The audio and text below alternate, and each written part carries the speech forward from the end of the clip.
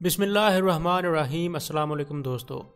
دوستو، الجزائر کے سابق صدر اور تحریک آزادی کے رہنما احمد بن بیلا پچیس دسمبر انیس سو سولہ کو الجیریا میں ایک کسان کے گھر پیدا ہوئے۔ وہ دوسری جنگ عظیم میں الجزائر کی چھٹی ریجمنٹ میں شامل ہوئے اور شاندار خدمات انجام دیں۔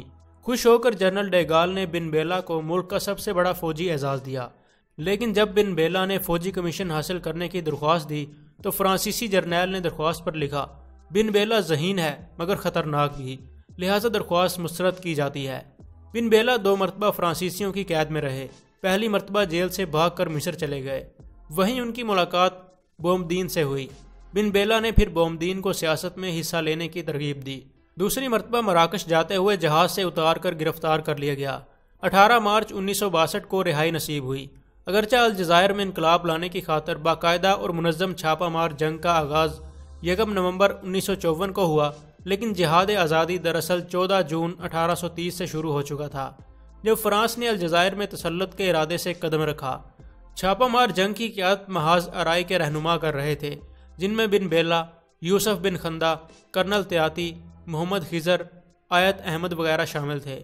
چار سال بعد بالآخر کامیابی نے مجاہدین کے قدم چومے اور فرانس کا صدر ڈیگال الجزائر کو تین جولائی انیس سو باسٹھ کو آزادی دینے پر مجبور ہو گیا۔ آزادی کے بعد الجزائر میں پہلی عبوری حکومت قائم کی گئی۔ اس کے وزیر اعظم یوسف بن خدا تھے۔ اگست انیس سو باسٹھ میں بن بیلا نے فوج کی مدد سے اقتدار پر قبضہ کیا اور اپنے تمام ساتھیوں کو جن میں یوسف بن خدا، کرنل تیاتی، محمد خزر اور آیت وغیرہ شامل تھے، اپنے راستے سے صاف کر دیا۔ بن بیلا کے خلاف بغاوت بھی ہوئی، لیکن باغی ناکام رہے۔ بومدین نے جو فوج کے کمانڈر ان چیف تھے بن بیلا کے اقتدار کی حفاظت کی اور باغی عناصر کو ختم کر کے رکھ دیا۔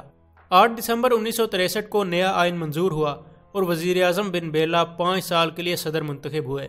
مگر انیس جون انیس سو پینسٹھ کی رات ساڑھے تین بجے وزیر دفاع اور کمانڈر ان چیف بومدین نے، جو نائب صدر بھی تھا، بن بیلا کی حکومت کا تختہ الٹ دیا اور بغیر کسی خون خرابے کے حکومت پر قابض ہو گیا۔